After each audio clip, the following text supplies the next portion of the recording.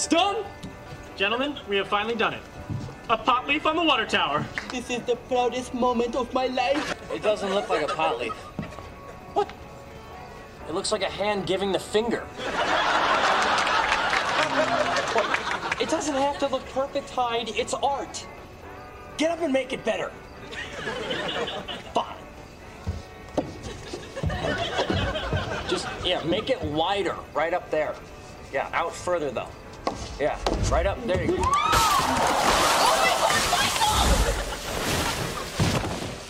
Hey, Kelso! Yeah? How's it look from down there? And it looks like it's giving me the finger.